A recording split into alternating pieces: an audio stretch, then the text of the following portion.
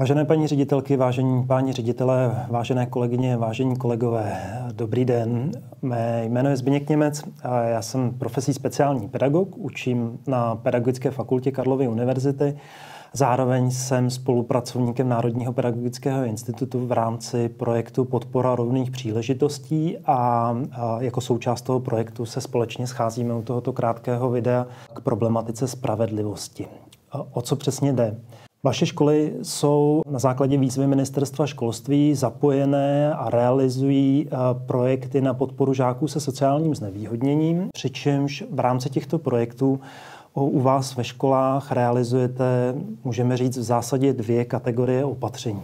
Jedna ta kategorie opatření je tvořená opatřeními, která mají takové, řekněme, více plošné dopady. To jsou opatření, která směřují primárně k žákům se sociálním znevýhodněním, protože to je jaksi v charakteru té výzvy. Zároveň ale tato opatření eh, mají pozitivní dopad i na ostatní žáky vašich škol. To jsou zejména opatření toho personálního charakteru. Zaměstnáváte třeba asistenty pedagoga, speciální pedagogy, sociální pedagogy, školní psychologi nebo koordinátory inkluze a všichni tito pracovníci se ve své práci soustředí na podporu žáků se sociálním znevýhodněním, ale vedle toho zajišťují přirozeně podporu i pro ostatní žáky vašich tříd a škola. Je to tak v pořádku. Tato opatření jsou v rámci těch projektů vnímána v podstatě jako bezproblémová. Co bývá o něco komplikovanější, je ta druhá kategorie opatření, která je tvořená opatřeními, která směřují už výhradně jenom na podporu žáků se sociálním znevýhodněním. Zejména problematické je to tam, kde tato opatření eh, směřují k redukci nějakých finančních bariér ve vzdělávání těchto žáků, a abych uvedl příklad, tak typicky je to třeba účast žáků se sociálním znevýhodněním na snídaňových klubech, které realizujete v rámci projektů některých vašich škol.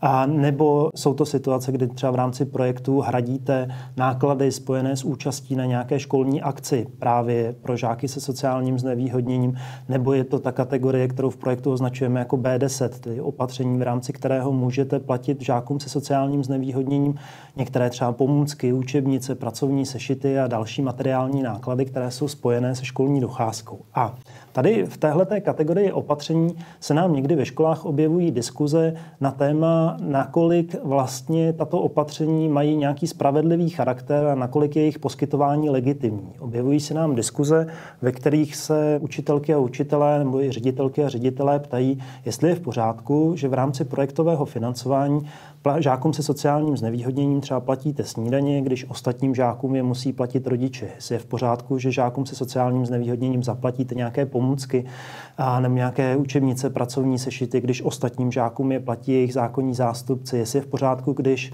žákům se sociálním znevýhodněním zaplatíte z té projektové dotace účast na nějaké školní vzdělávací akci, když ostatním žákům musí tu akci zaplatit zákonní zástupci. A my v těchto diskuzích vždy říkáme, že to v pořádku je, že to je úplně legitimní a že to tak má být. A účelem tohoto krátkého videa je představit vám některé argumenty, na základě kterých jsme přesvědčeni o tom, že to, že poskytujete žákům se sociálním znevýhodněním v tom projektu takto nadstandardní finanční podporu, tak je legitimní a v pořádku. Obecně mezi těmi argumenty jako první odkazujeme na určitou jako ideu bezplatného vzdělávání. Tato idea je, eh, je ukotvená v listině základních práv a svobod, která je vlastně součástí ústavního pořádku České republiky a která říká, že občané České republiky mají právo na bezplatné základní a střední vzdělávání. Tedy správně by veškeré vzdělávání v České republice na základních a středních školách mělo být bezplatné. My ale bohužel víme, že to tak v praxi není, že ta realita je taková, že mnohdy zákonní zástupci žáků musí platit za třeba pracovní sešity, za pomůcky, za účast na školních akcích a my se vlastně v rámci toho projektu snažíme tuhle tu finanční bariéru odstranit aspoň pro tu nejohroženější skupinu žáků s nějakým sociálním znevýhodněním. Každopádně ale vycházíme z konceptu ideálně bezplatného vzdělávání. Zároveň odkazujeme i na některé jiné důležité platné legislativní dokumenty a primárně na úmluvu o právech dítěte, která v České republice platí už od roku 1991 a která v článku 3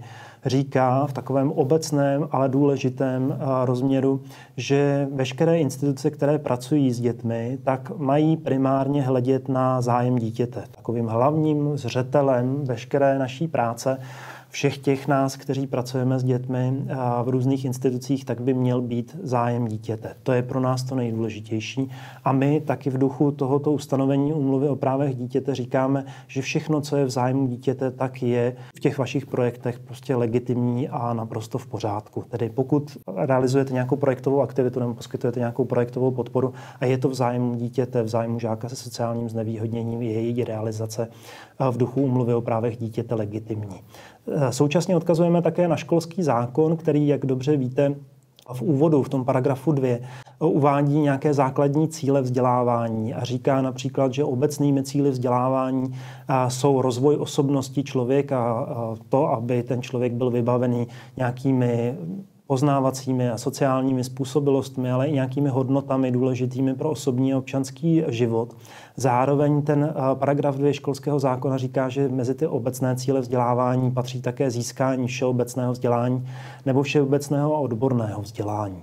Když toto řekneme jinými slovy, pak platí, že hlavními cíly veškeré výuky, která probíhá v základních a potažmo i pak na středních školách, je to, aby ten konkrétní žák dosáhl co nejvyšší možné úrovně znalostí a aby dosáhl co nejvyšší úrovně určité jako profesní vybavenosti v kontextu základní škol, to znamená, aby ten žák byl co nejlépe připravený na nástup a úspěšné pokračování ve škole střední. Přičemž tohle to jsou ty hlavní cíle, které ve školách vůbec máme a fakticky lze říct, že všechno to, co děláme pro naplnění těchto cílů, je v tomto smyslu v pořádku a je legitimní. Tedy pokud poskytujeme žákům se sociálním znevýhodněním nějakou nadstandardní podporu, pokud jim z projektových dotací koupíme nějaké pomůcky nebo pokud jim zaplatíme účast na nějaké školní akci a víme, že ty pomůcky nebo ta školní akce podpoří jejich motivaci, podpoří jejich úspěšnost ve vzdělávání, pak tímto vlastně plníme ty hlavní cíle, tak jak jsou stanovené školským zákonem a i v kontextu zákona tedy toto naše počítání je úplně legitimní a v pořádku, protože sleduje ty hlavní cíle vzdělávání. V zamyšlení nad tím tématem někdy taky odkazujeme na diskuzi, která už se dlouhá léta k tomu tématu vede v zahraničí. A v zahraničí se hodně diskutuje v tomto kontextu o rozdílech mezi pojmy equality a equity. A ty rozdíly velmi pěkně ilustruje i to následující schéma, které vidíte před sebou.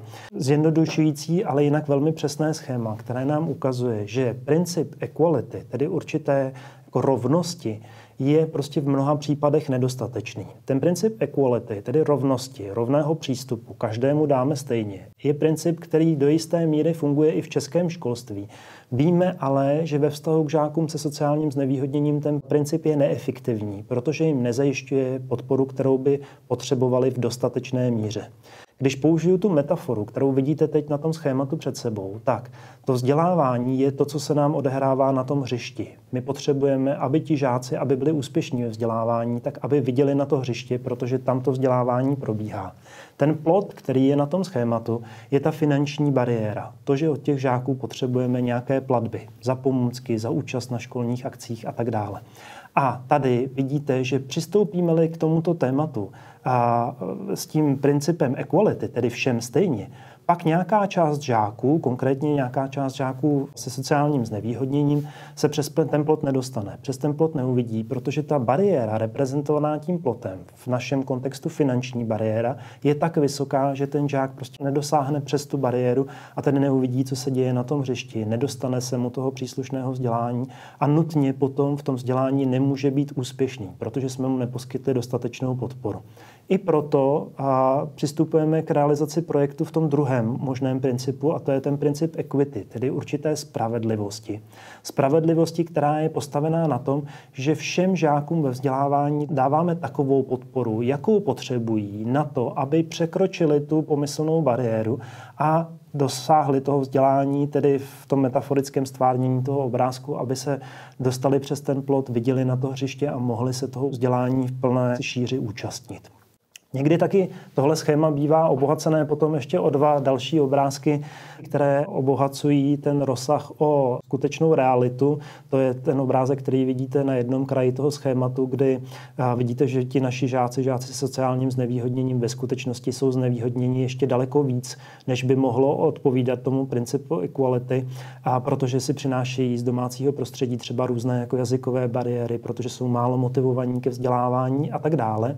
Zároveň je tady tady potom ten druhý extrém, a to je ten extrém, který je tady označený jako určité osvobození tím termínem liberation. To je pozice, která vlastně tu vzdělávací bariéru v tomto smyslu ten finančně podmíněný plot v tom obrázku úplně odstraňuje.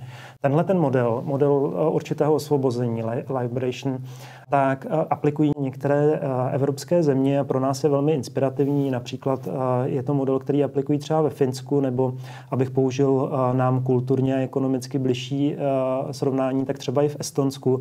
To jsou země, které vlastně ty finanční bariéry úplně odstranily. Země, které mají vzdělávání kompletně zdarma, nabízejí žákům zdarma veškeré pomůcky, veškeré pracovní sešity a veškeré školní akce, i třeba obědy, školní stravování. Ta vzdělávací bariéra tady je reprezentovaná plotem, ta finanční bariéra v těchto zemích úplně padla. A pak už není potřeba ani zajišťovat tu nadstandardní podporu, protože prostě ta bariéra tam není. Nicméně pro nás je tohle poměrně jako e, e, těžko dosažitelný model v současných podmínkách, proto se soustředíme na ten druhý nejlepší model a to je ten model equity, v rámci kterého se snažíme poskytnout všem žákům takovou podporu, jakou skutečně potřebují. Závěrem tohoto krátkého videa bych rád ještě zmínil určitý ekonomický aspekt té problematiky a pak některé důležité aspekty pro aplikaci toho tématu v praxi. Jen krátce k těm ekonomickým důvodům.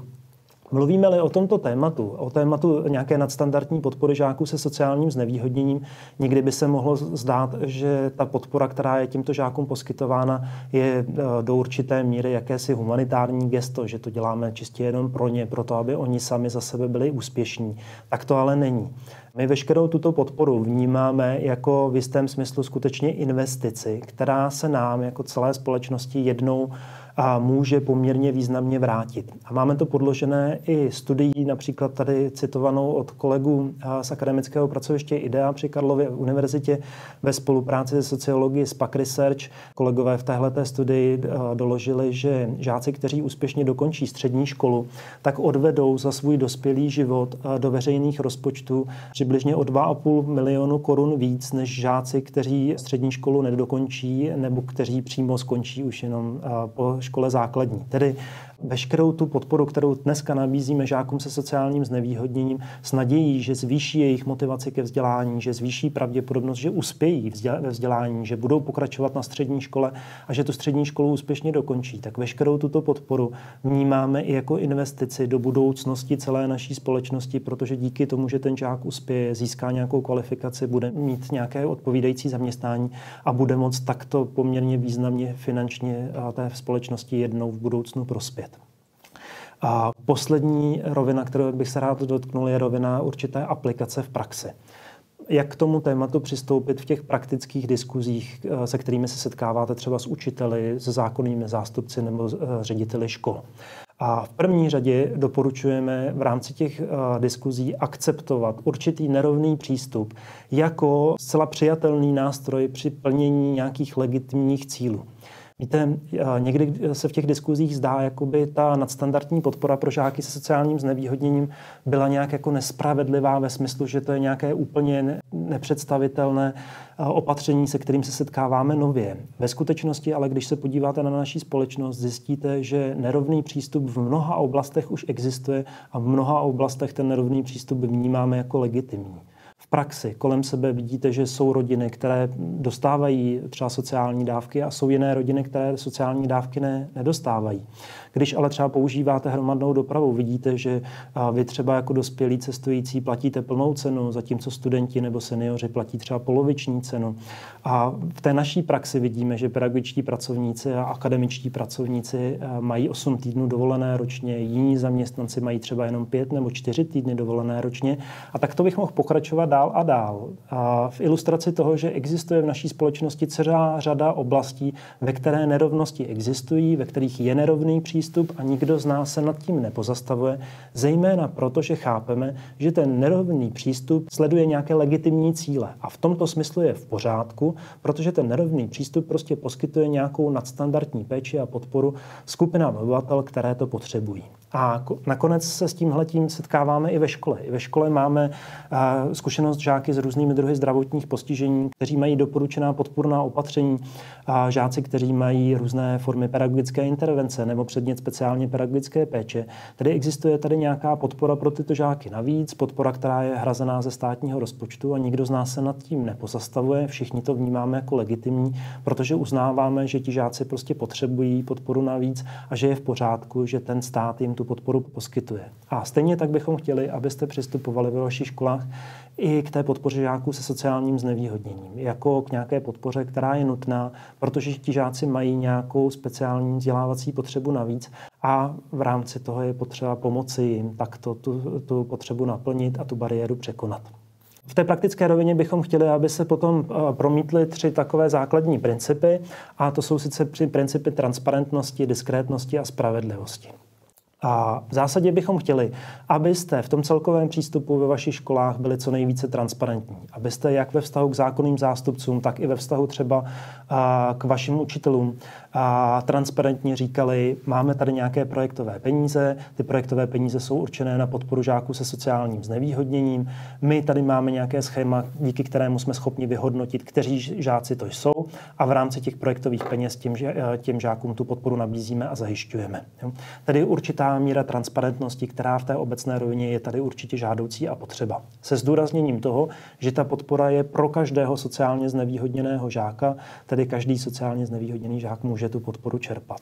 Zároveň ale, a to je ten druhý princip, chtěli bychom uplatňovat jistou míru diskrétnosti. Ze zahraničních příkladů na téma třeba obědů zdarma víme, že ty obědy zdarma prostě fungují nejlépe tam, kde vlastně nikdo moc, do, moc neví, který žák má oběd zaplacený zákonným zástupcem a který žák má oběd zaplacený z té dotace. Tedy chtěli bychom udržet maximální možnou míru diskrétnosti ve vztahu k těm konkrétním žákům, a což ale v praxi je poměrně dobře realizovatelné. I ve vašich školách máte celou řadu dobrých zkušeností s tím, že když vybíráte peníze třeba na školní akci, vybíráte ty peníze prostě diskrétně, tedy tak, že prostě dáte za úkol rodičům, aby ty platby posílali třeba na účet, aby ve škole žáci nevěděli, kdo, kdo už zaplatil, kdo už ne. Pak, když vidíte, že třeba některé rodiny prostě ty peníze neposlali, mají s tím problém, kontaktujete, zjistíte třeba přes sociálního pedagoga, že skutečně jsou v nějaké finanční nouzi a pak jim tu školní akci třeba zaplatíte z té projektové dotace, aniž by to nutně kdokoliv z těch ostatních zákonných zástupců musel vědět a aniž by to nutně musel vědět třeba i kdokoliv z učitelů ve vašem sboru. Tedy chceme tady jistou míru diskrétnosti, která primárně ale směřuje hlavně k tomu, aby ti žáci se sociálním znevýhodněním nebyli tímto stigmatizováni. A konečně míříme k určité spravedlivosti a v tom smyslu, že se snažíme tu podporu nabídnout skutečně všem žákům, kteří ji potřebují. A k tomu nám pomáhá potom i ta identifikace žáků se sociálním znevýhodněním, kterou z nějaké části už máte ve vašich školách za sebou, z nějaké části ji ve školách realizujete. A v té diskuzi potom na tohle téma určitě můžete odkazovat třeba i na školský zákon. V paragrafu 16 školský zákon říká, že žáci se speciálními vzdělávacími potřebami mají na nějakou nadstandardní podporu právo. A žáci se sociálním znevýhodněním v tom našem projektu nebo v těch vašich projektech jsou vnímáni také jako žáci se speciálními vzdělávacími potřebami. Tedy i ve vztahu k těmto žákům vám paragraf 16 školského zákona říká, že na tu podporu mají právo a vy tedy tím, že jim poskytujete nějakou finanční dotaci nebo nějakou finanční podporu, tak vlastně naplňujete jejich zákonem dané právo. Zároveň určitě v té praktické diskuzi můžete odkazovat na výzvu Ministerstva školství a na tu metodiku Národního pedagogického institutu a metodiku, v rámci které si identifikujete žáky s sociálním znevýhodněním ve vaší škole, tedy víte, na základě té identifikace, kdo je tou cílovou skupinou, máte přesně pojmenované, kteří žáci jsou žáky se sociálním znevýhodněním. A na základě té výzvy ministerstva školství potom vy téhleté cílové skupině poskytujete tu nadstandardní podporu například formou, že jim uhradíte nějakou účast na školní akci, školní akci, který, na které ostatním žákům účast hradí rodiče, nebo že jim nakoupíte nějaké pomůcky a z toho nástroje B10, nebo že jim třeba umožníte účastnit se s snídaňových klubů a tak se před vyučováním ve škole i nasnídat. Určitě můžete tedy v té praktické diskuzi odkazovat i takto na tu metodiku Národního pedagogického institutu a na výzvu ministerstva školství s tím, že vy vlastně tady plníte jenom zadání, které na základě té metodiky a na základě té výzvy od státu využitím těch evropských dotací ve škole máte. Já vám děkuji tímto za pozornost. Chtěl bych vám zároveň také poděkovat za tu podporu, kterou eh, žákům se sociálním znevýhodněním v rámci vašich projektů poskytujete, včetně té finanční podpory, o které jsme eh, dneska spolukrátce v tomto videu mluvili. Finanční podpory, v rámci které těmto žákům, žákům se sociálním znevýhodněním umožňujete, aby se v plné míře účastnili třeba i různých vzdělávacích akcí finanční podpory, v rámci které i investujete třeba do různých pomůcek, které pak s těmito žáky využíváte. A vnímáme to jako podporu, která je pro ty žáky důležitá a je to prostě součást uh, té výzvy ministerstva školství, je to součást těch finančních prostředků, které do vašich škol v této výzvě uh, putují. Tedy za to díky a závěrem vám přeji už jenom hodně úspěchů a těším se při nějaké budoucí příležitosti na shledanou.